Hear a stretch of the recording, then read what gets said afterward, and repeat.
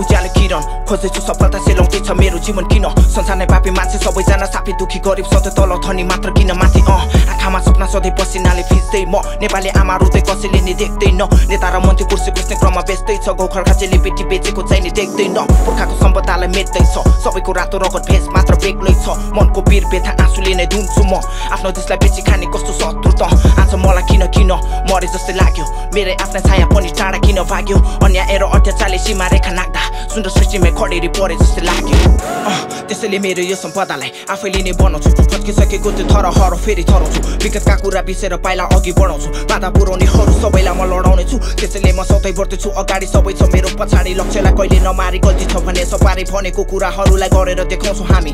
मेरो प्राण गए जाओस् त डराइ भाग्ने परिन। त्यस्तै पर्यो भने तयार छु म जहिले लडिन। संविधानको कुरा मात्र गर्छ नेता मन्त्री जतिखेर देख्छु हातमा तर त्यो पैसाको गल्ती मेरो हारमै छ जित। राम्रो केही कुरा सिक नराम्रो काम गर्नुभन्दा बरु मर्नुमा ठिक। सबै जनता मिलिजुली हुनुपर्छ समर्पित मात्र गर्नु छ आँट। हुन्छ हाम्रो नै जित।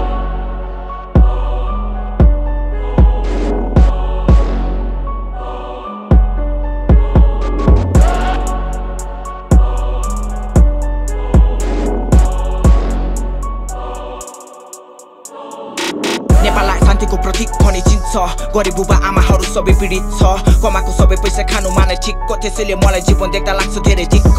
सत्यको कहानी आज सबैमा पोख्छु म। नेपालको इज्जत बेची खानेहरूलाई रोक्नु छ। फलात्मे अनुहार शब्द हेर अशुद्ध छ। यस्तो देख्दासम्म पनि चुप्ला हेर बस्नु त। यो देशको हार होइन राम्रो टोल समाज छैन शान्ति आउने आसमा पुरी बस्दा बित्यो कति महिना जिन्दगी त लामो छ। तर हरेस्तै खाँदिन म जसले जे भने पनि नराम्रो बाटो जाँदिन म। साथ चाहिन्छ मलाई दिदी बहिनी दाजु पाएको आज हाम्रो देश पनि अरूभन्दा पराए भो यो मेरो खमट होइन शान्तिको लडाइँ हो। एक्लै मात्र होइन साँच्चै छ मलाई त पाएको होस् भन्दै चुप लागेर बस्नु पर्ने हुँदैन एकजुट हुनुपर्छ। हामी कसैले पनि छुँदैन यहाँ हामी आफैले नगरेसम्म केही नै हुँदैन। चिचाउँदा गराउँदा घाँटीको नली सबै सुत्दैछ भाषण मात्र अति भो नेता मन्त्रीहरूको भूकम्पमा आएको राहत भित्रभित्रै सकियो। त्यसैले गर्दा नेपालको माग्नेको चाहिँ कति भो यस्तोसम्म भइसक्यो अब त झन् अति भो के भएको छ? यहाँ हेरेको छ कसैले? पुरानो नेपाललाई हामी बनाउनु छ सबैले। सचेत गराइदिएको बुझिदिनु तपाईँ आफैले। चोर नेता मन्त्रीहरूलाई दिनुपर्छ सजाय। त्यसैले मिलेर बढ्नुपर्छ सबै एक भई सबको साथ चाहिन्छ मलाई अहिले छु म एक्लै। बढ्दैछु अगाडि भिड पाखाहरू टेक्दै अँध्यारो आकाश उज्यालो बनाउनु छ एक भई।